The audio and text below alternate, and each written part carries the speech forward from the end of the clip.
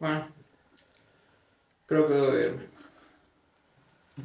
Fue un gusto conocerte, Ezequiel. ¿Te acompaño a la puerta? Muchas gracias, Logan. Muy amable. Con permiso.